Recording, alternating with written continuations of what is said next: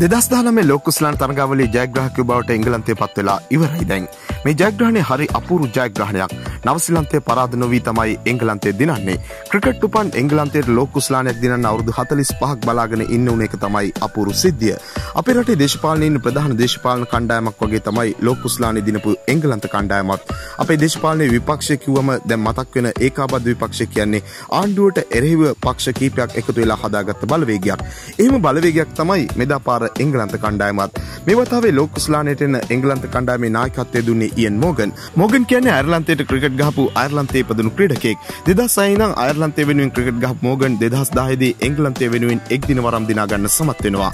මේ විද්‍ය අවුරුදු 32ක් වන මෝගන් දැන් එංගලන්තයේ ක්‍රිකට් නායකත්වයට පත් වෙලා එංගලන්තය වෙනුවෙන් ලෝක කුස්ලානයක් දිනා දෙන්න සමත් වෙලා.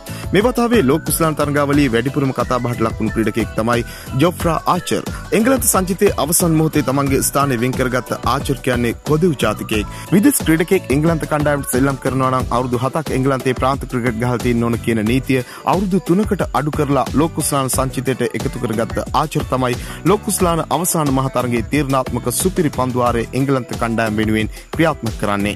ලෝකුස්ලාන අවසාන මහතරගයේ එංගලන්ත කණ්ඩායමට ජයග්‍රහණය කරන්න පුළුවන් වෙන්නේ බෙන් ස්ටොක්ගේ සටන්කාමී ප්‍රතිහරණය නිසා. නවසිලන්තයට එරෙහිව අවසන් තරගයේ වීරයා වෙන්නේ ස්ටොක්. ස්ටොක් කියන්නේ නවසිලන්තයේ ඉපදුණු නවසිලන්ත ජාතික ක්‍රීඩකයෙක්. ස්ටොක් එංගලන්තයට එන්නේ අවුරුදු 12 එංගලන්ත කණ්ඩායමට ලෝක ඉස්ලාම් තරගාවලි ජයග්‍රහණ රාශියක් ලබා දෙන්න ආරම්භක ප්‍රතිකරුවෙක් විදිහට ලොකු සේවයක් කරපු ජේසන් රොයි කියන්නේ එංගලන්තයේ ඉපදුණු ක්‍රීඩකයෙක් නෙමෙයි.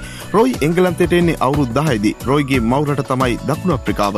එංගලන්ත සංචිතයේ හිටපු තවත් ප්‍රබල තුන්විරියව් ක්‍රීඩකයෙක් වන ටොම් කරන් කියන්නේ එංගලන්තයේ ඉපදුණු ක්‍රීඩකයෙක් නෙවෙයි.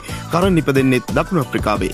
මේ වතාවේ ලෝක ඉස්ලාම් තරගාවලියේ එංගලන්ත කණ්ඩායමේ ප්‍රධාන දඟපන්දු යවන්න වන අඩිල් රෂීඩ් කියන්නේ පාකිස්තානයේ සම්භවයක් තියෙන ක්‍රීඩකයෙක්.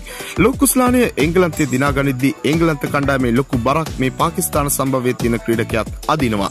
මේ විදිහට ඔරිජිනල් සුද්දු නැතුව ලෝකේ පුරා දක්ෂයන් එකතු කරලා හදාගත්ත කණ්ඩායමක් තමයි ලෝක ඉස්ලාම් ඉතිහාසයේ පළවෙනි වතාවට එංගලන්තයට ලෝක ඉස්ලාමයේ හිමි කරලා දෙන්නේ. මෙවැනි වීඩියෝ දිනපතා බලන්න අපත් සමග එකතු වන්න. ඔබ තවමත් අපේ channel එක subscribe කරලා නැත්නම් දැන් අපිව subscribe කරන්නත් ක්‍රිකට් වලට කැමති ඔබේ යාළුවෙකුට බලන්න මේ වීඩියෝ එක share කරන්නත් අමතක කරන්න එපා. ක්‍රිකට් පිටියේ නැවුම් දෙස් අපිට තවත් අලුත් වීඩියෝවකින් හමු වෙනතුරු ක්‍රිකට් ලංකාවෙතින් පාට සුබ දවසක්.